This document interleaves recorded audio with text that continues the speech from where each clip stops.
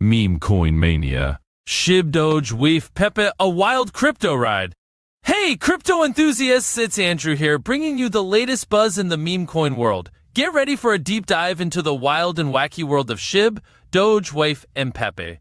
Let's start with the OG meme coin Shiba Inu.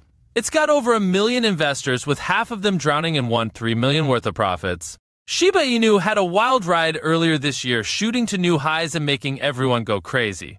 Now, it's sitting at low levels, so who knows what July might bring. Moving on to the king of meme coins, Dogecoin. It's been doing pretty well lately, up 6% in a week. And guess what?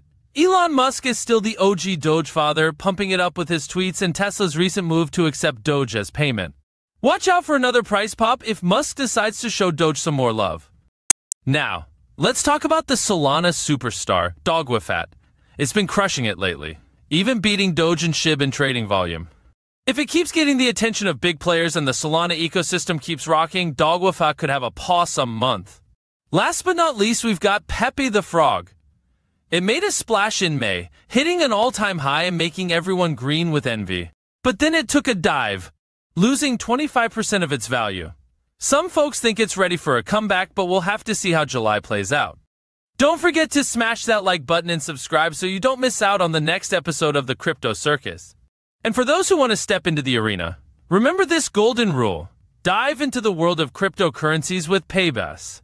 They've got everything you need from buying to selling starting from just 5 bucks.